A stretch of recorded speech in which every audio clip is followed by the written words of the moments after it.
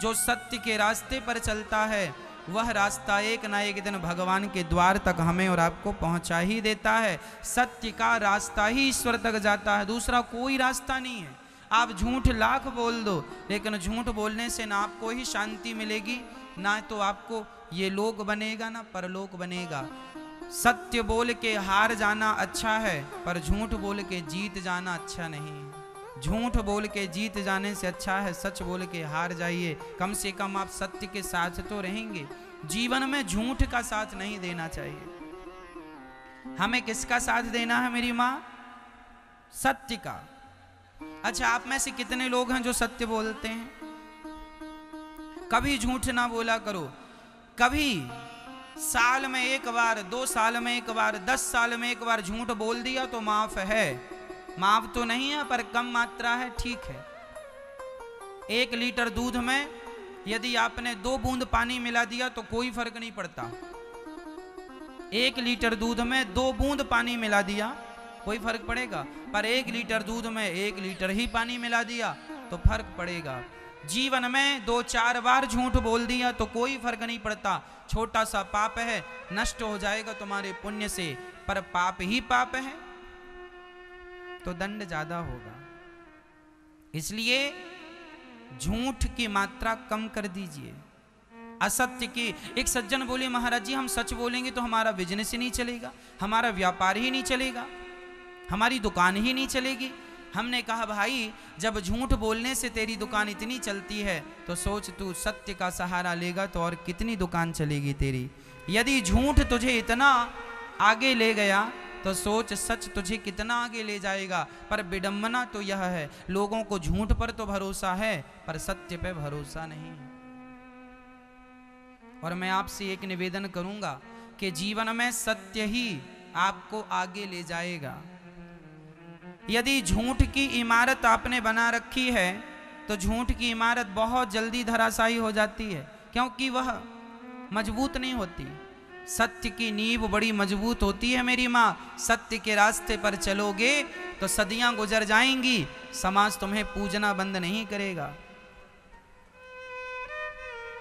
यदि झूठ के रास्ते पर चलोगे, रावण झूठ के रास्ते पर चलता था, राम जी सत्य के रास्ते पर चलते थे, सत्य के रास्ते पर चलते थे तो लोग मंदिर बना के पूजते हैं और झूठ के रास्ते पर रावण चलता था तो गली गली पुतले जलाए जाते हैं। ये है झूठ का परिणाम।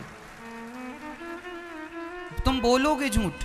परिणाम क्या होगा? वर्तमान को ना देखो, इस वर्तमान में किए गए कर्म का परिणाम क्या होगा? उस पर तो दृष्टि डालो।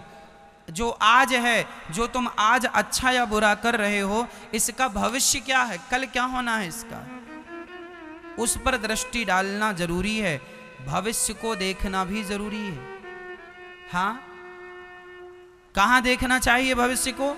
रावण ने यदि ये सोचा होता कि मेरे जैसा पंडित, मेरे जैसा ज्ञानी, यदि मेरे जैसा ज्ञानी सीता को चुराएगा तो समाज में संदेश क्या जाएगा, मैसेज क्या जाएगा? रावण ने यदि इस बात पे थोड़ा सा विचार किया होता तो शायद रावण ये गलती ना करता।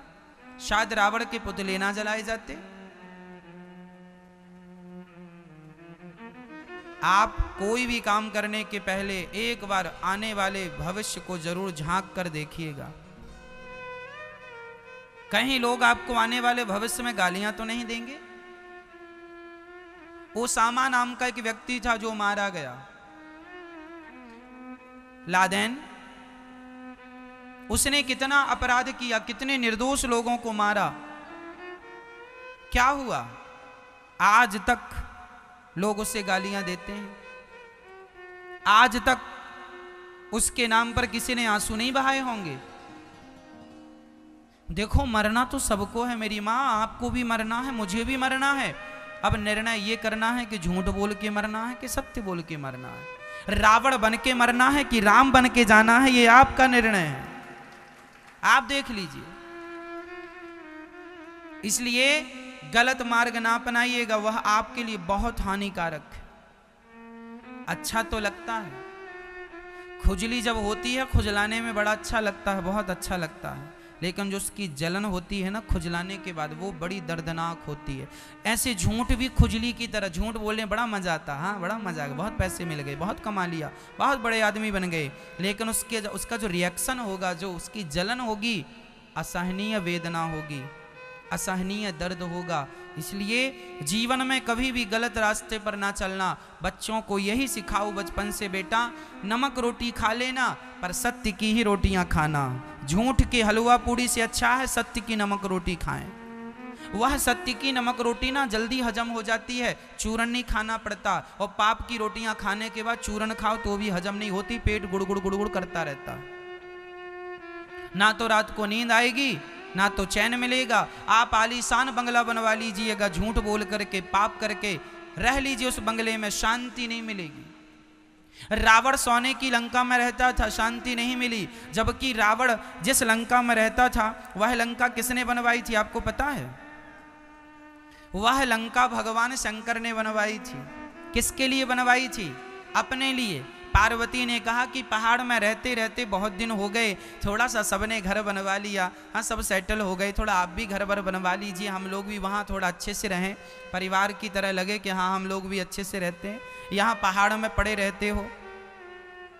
शंकर जी ने कहा, पार्वती की इच्छा है तो एक बढ़िया सा घर बनवाते हैं। ओ, शंकर जी ने कृपा की और सोने की लंका बनवा दी शंकर जी ने। और ग्रह प्रवेश, अब घर बनाया तो ग्रह प्रवेश के लिए पंडित जी। तो शंकर जी बोले, इस समय बढ़िया पंडित जी रावण ही है। रावण को बुलाया, आओ पंडित जी, जरा ग्रह प्रवेश कराओ। तो रावण ने ग्रह प्रवेश कराया। शंकर जी ने कहा, बताओ, दक्षिणा में क्या चाहिए? लंका। रावण बोला, ये लंका बड़ी अच्छी जो आपका घर है, आप क्या करेंगे? आप तो अवगढ़दानी है, आप जहाँ रहते थे वहीं रहिए, ये हमें दे दीजिए। पार्वती ने बोला, हे भगवान, कैसा पंडित है? ग्रह प्रवेश में घर ही मांग लिया। माता पार्व शंकर जी बोले, अब तो दे दिया हमने, पार्वती से कहा, चलो वहीं जहाँ थे। पार्वती जी ने श्राप दे दिया, मूर्ख, इतना लालची है तू, जा, दूसरों के घर में कब्जा करता है, रहेगा ज़रूर इस लंका में, पर तुझे शांति नहीं मिलेगी। जिस दिन से रावण लंका में शिफ्ट हुआ, अपना सामान लेकर, उस दिन से रावण उस लंका में सुखी नहीं रहा। आपको क्या लगता है, दूसरों की संपत्ति हड़प लेने से सुख मिल जाएगा? आजकल तो छोटा भाई बड़े भाई की हड़प लेता है, बड़ा भाई छोटे भाई की संपत्ति हड़प लेता है। आज तो भाई भी हड़प लेता है। अच्छा आप लोगों को क्या लगता है, दूसरों की हड़प लेंगे तो मज़ा आ जाएगा? बड़े आदमी हो जाएँगे? इज़्ज़त बढ़ जाएगी? क्यों ये नहीं सोचते कि तुमको ईश्वर हर पल देख रहे हैं?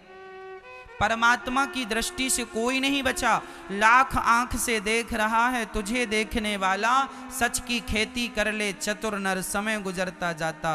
मेरे मालिक की दुकान में सब लोगों का खाता। सबका हिसाब किताब खाता वही, वहाँ है।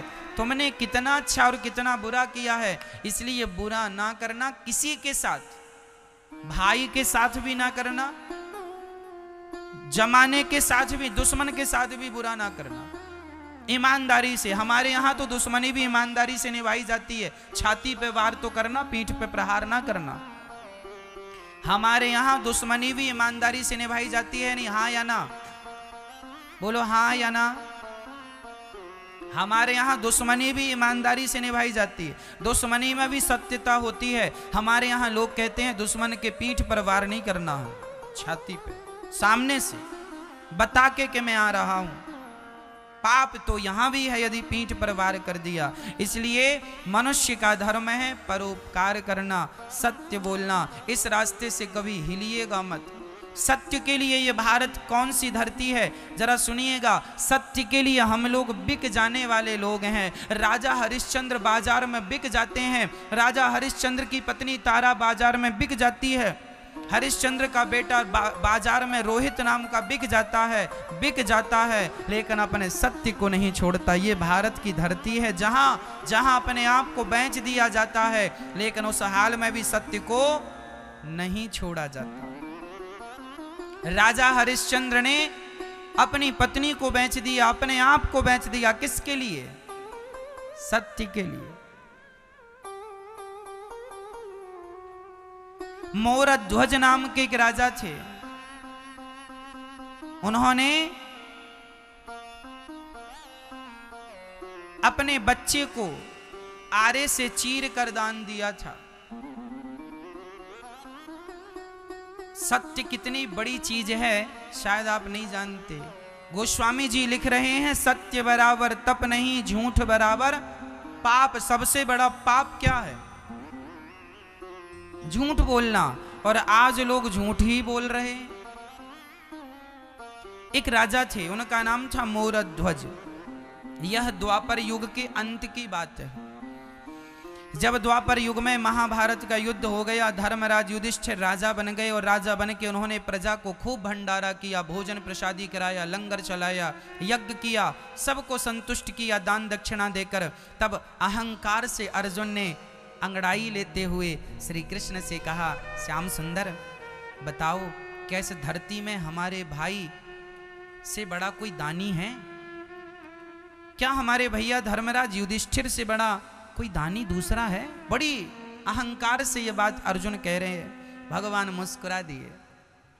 भगवान ने कहा, अर्जुन, तुम्हारे भाई का नाम तो लिस्ट में सबसे नीचे है।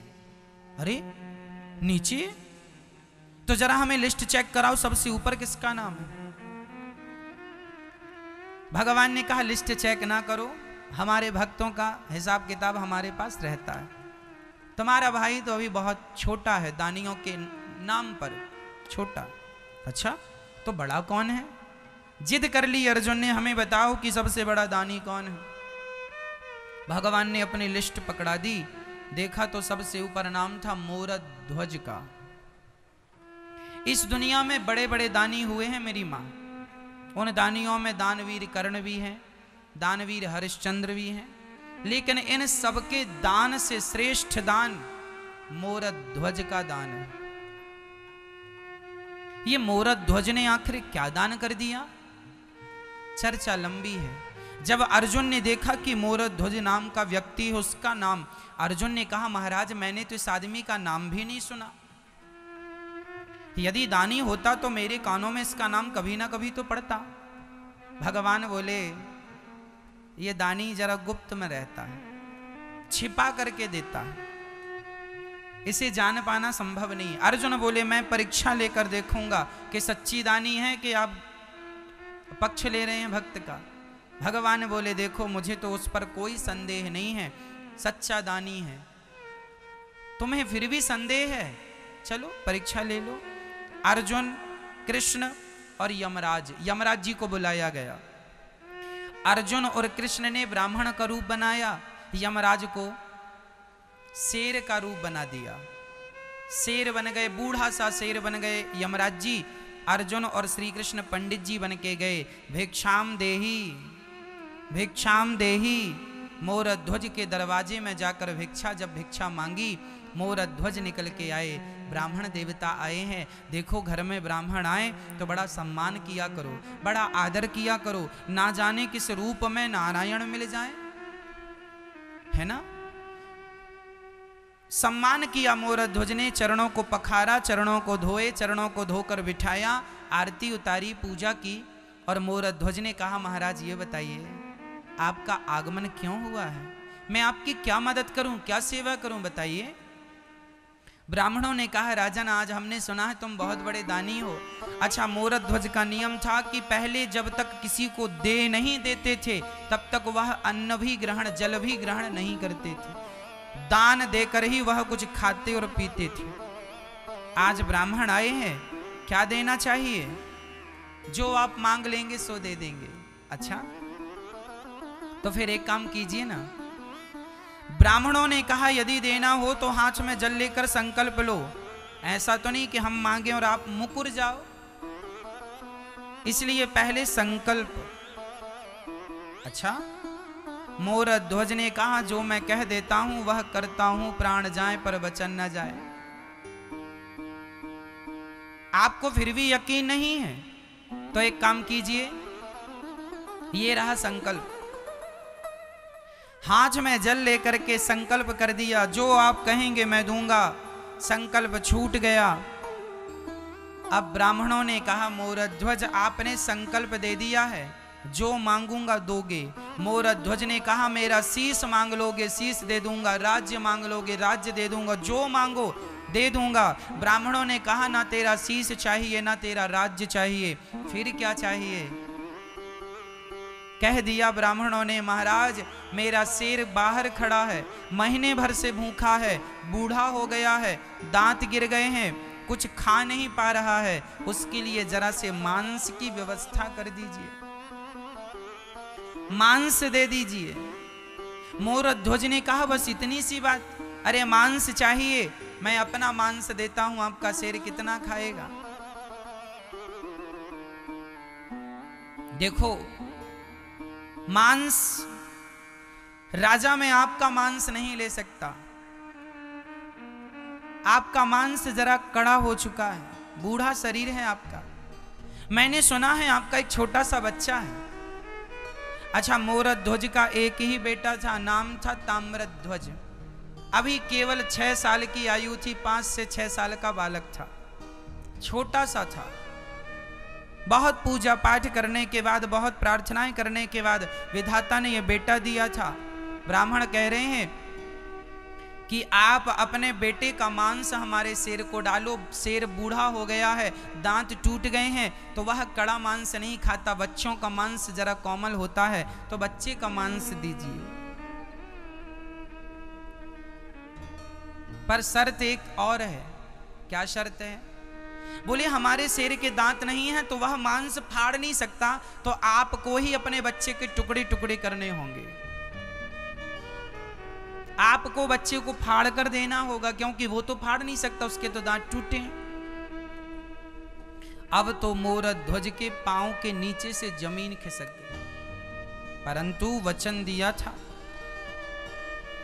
मोर ध्वज के सामने सबसे बड़ा संकट यह था कि यदि मैं बेटे को ज़बरदस्ती पकड़कर मार डालता हूँ तो बाल हत्या लगेगी।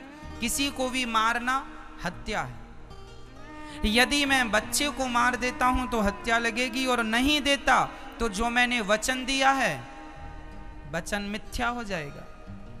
धर्म संकट में पड़ गए मोर ध्वज। तभी उनका वह नन्हा सा बालक पाँच वर्ष का दौड़ा दौड़ा आया, पिताजी, मैंने सब सुन लिया। आप यही सोच रहे हैं ना कि मेरी मर्ज़ी है या नहीं? पिताजी, ये लो मैं खड़ा हो गया। अरे वह पुत्र पुत्र कैसा जो अपने पिता के धर्म को ना बचाए? यदि मेरे द्वारा आपका धर्म बचता है, पुत्र के द्वारा पिता का धर्म बचता है तो यही पुत्र का धर्म है कि वह पिता का धर्म बचाए, इसीलिए उसका जन्म होता है। मैं आपके धर्म की रक्षा के लिए, मैं अपने प्राणों का बलिदान दे सकता हूँ पिताजी। आपका वचन मिथ्या ना हो, यदि आज आपका वचन टूट गया तो आपका धर्म चला जाएगा, और बेटे के रहते बाप का धर्म चला गया तो बेटे का होना व्यर्थ है। अरे पिता के धर्म की रक्षा पुत्र ना करेगा तो कौन करेगा? बेटा खड़ा हो गया। आरे की व्यवस्था की गई। जब रानी को पता चला मोर ध्वज की पत्नी को के बच्चे को आरे से चीरना है आरा, जो लकड़ी को चीरता है आरा। ताम्र ध्वज खड़ा है, एक तरफ़ रानी एक तरफ़ राजा, रानी के तो हाथ काँप रहे हैं, कौन सी माँ होगी जो अपने बच्चे के शरीर में आरा चलाएगी? माँ थर थर कांपने लगी, रोने लगी, बच्चे को हृदय से लगा लिया, चूमने लगी, गालों को, माथे को चूम कर हृदय से लगा लिया। बेटा, ये क्या हो रहा है? तब ब्राह्मणों ने कहा, देखो देवी, समय कम है, शेर भूखा है। जल्दी से आरा चलाओ, यदि तुम अब आँसू बहाओगी तो हम यहाँ से चले जाएँगे और हम चले गए तो इनका दिया हुआ वचन मिथ्या हो जाएगा। इनका सत्य आज तक टूटा नहीं, इनका वचन आज तक टूटा नहीं। और यदि आप आँसू बहाओगी तो कहीं आपके आंसुओं के कारण आज इनका वचन टूट ना जाए, मोर ध्वज का वचन ना टूट जाए। रानी ने अपनी आँखों के आँसू पहुँचे बेटे को बीच में खड़ा किया। बेटे ने माँ की तरफ़ देखा माँ पुत्र की रक्षा मत करो माँ। धर्म की रक्षा करो। यदि आज पिता का वचन टूट गया पिताजी ने जन्म से लेके आज तक कभी झूठ नहीं कहा। यदि मेरा बरी, बरी, मेरा बलिदान नहीं दिया आपने तो पिता का पहली बार वचन टूट जाएगा। और मैं आपसे कहता हूँ माँ पुत्र मर जाएगा तो फिर वापस आ सकता है। पुत्र चला जाएगा तो वापस आ सकता है, पर धर्म चला गया तो वापस नहीं आएगा, इसलिए पुत्र की रक्षा नहीं। आज धर्म की रक्षा कीजिए। धर्मो रक्षति रक्षिता। खड़ा हो गया बेटा, सिर पे आरा रखा गया। एक तरफ़ रानी ने, एक तरफ़ राजा ने पकड़ा और बस आरा चलाने ही जा रहे थे। तो उस नन्हे से बच्चे ने आवाज़ लगाई, माँ, एक पल के लिए रुक जाओ। दौड़ कर गया, रुई लेकर आया। माँ के कान में रुई लगा दिया, पिता के कान में रुई। माँ ने कहा, पुत्र, ये रुई कान में क्यों? माँ, जब आप आरा चलाओगी ना तो मैं चीखूँगा, चिल्लाऊँगा। शायद मैं दर्द के कारण बहुत ज़ोर से चीखूं और मेरी चीख यदि आपके कानों में चली गई तो आप आरा चलाना बंद कर दोगी, माँ। और आरा चलाना बंद कर दिया तो पिता का धर्म संकट में पड़ जाएगा। इसलिए कानों में रुई लगा रहा हूँ। कि मैं कितना भी चीखूं कितना भी चिल्लाऊं पर आप आरा चलाना बंद मत करिएगा। कान में रुई लगा दिया, खड़ा हो गया, आरा चलाना स्टार्ट किया। खून की पिचकारियाँ दीवारों में जाने लग गई, माँ के माथे पे खून आने लगा, बच्चे का पिता के माथे पे खून आ गया, चारों तरफ़ रक्त ही रक्त बिखर गया। और देखते ही देखते वह बच्चा दो भागों में फट गया। सिर से आरा चलाया, दो भागों में फट गया। ब्राह्मणों ने कहा, इसका दाहना अंग ले जाकर मेरे शेर को डाल दो और इसका बाया अंग ले जाकर गटर में फेंक दो। जब ये गटर की बात आई तो माँ की आँखों में आँसू आ गए। ब्राह्मणों ने कहा, आपसे मना किया था कि रोना नहीं है? महाराज, मैं इसलिए नहीं रो रही हूँ कि पुत्र चला गया। फिर क्यों रो रही हो? महाराज, इसका एक भाग आपने शेर को डालने को कहा, दूसरा फेंकने को। एक खाएगा तो दूसरा भी खिला दीजिए। कम से कम बच्चे का पूरा शरीर किसी के काम तो आएगा, गटर में यूँ ही पड़ा रहेगा।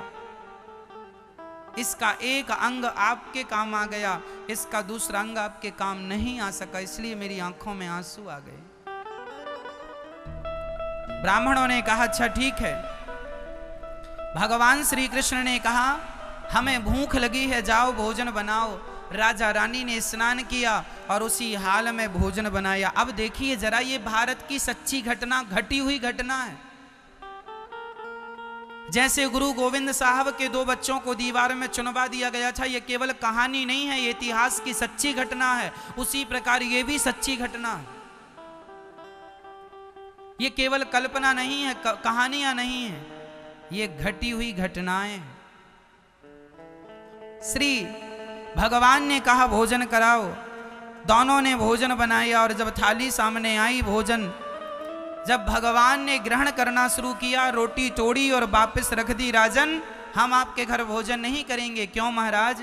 आप हत्यारे हैं और हत्यारों के घर हम भोजन नहीं करते। हत्यारे? हमने कौन सी हत्या की? अभी अभी आपने बच्चे को मारा है, मेरे आँखों के सामने सिर पर आरा चलाया। महाराज, वो तो आपने कहा था। हमने कहा था तो बच्चे को मार डालोगे?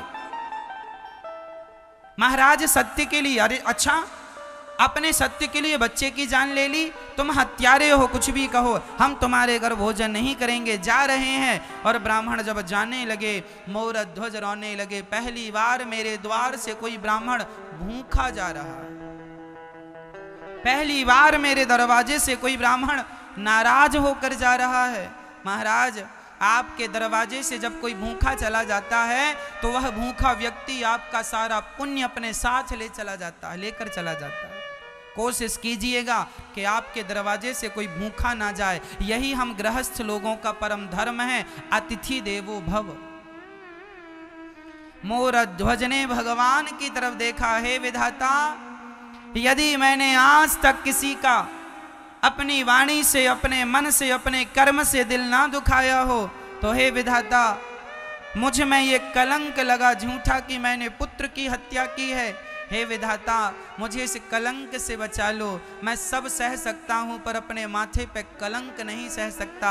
हे विधाता, मेरा पुत्र मुझे लौटा दो। यदि नहीं लौटाया तो जमाना सच कहेगा, सच्ची यही कहेगा, कैसा पिता था उसने अपने पुत्र को मार डाला। बेटा ताम्रध्वज, बेटा एक बार तू ज़िंदा होकर अपने पिता के धर्म को बचा ले, और ये कहकर मोर ध्वज मूर्छित होकर गिर पड़े। तभी अंदर से दौड़ता हुआ। दौड़ता हुआ वही बालक, वही ताम्रध्वज्यों का त्यों लौट कर आ गया, पिताजी, मैं मर कर भी आपका धर्म बचाऊँगा और आपके धर्म के लिए ज़िंदा होना पड़ा, सो मैं ज़िंदा होकर भी आपके धर्म को बचाऊँगा। दौड़ कर आ गया।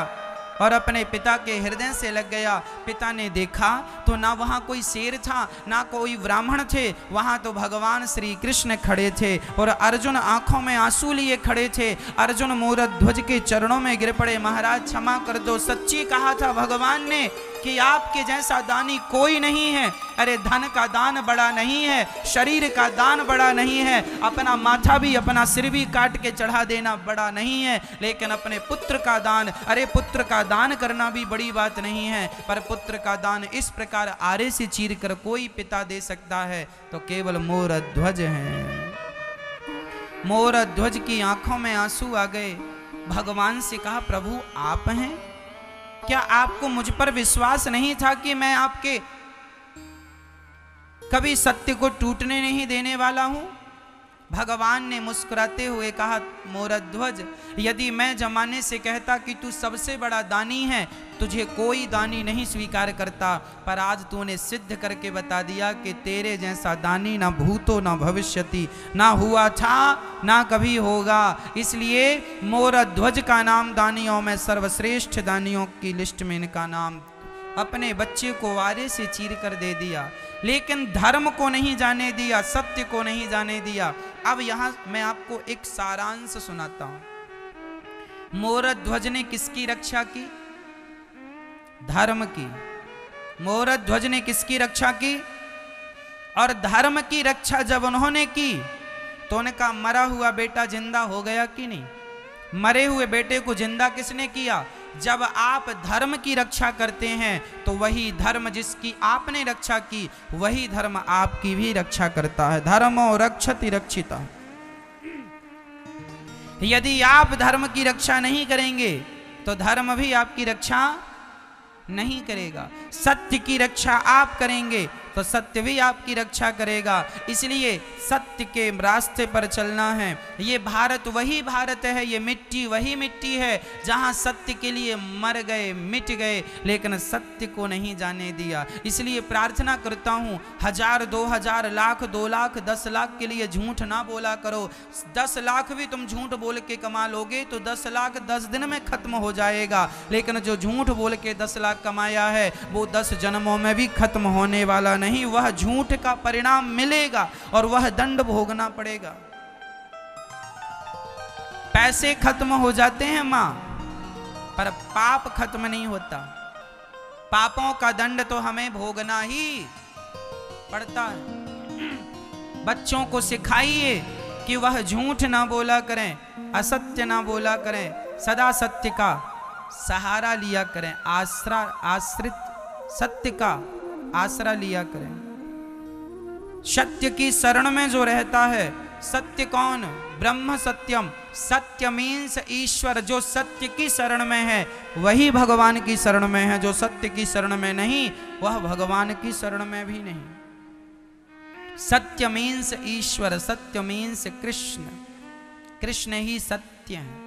तो आप सत्य बोलते हैं मतलब आप कृष्ण का आश्रय लिए हैं।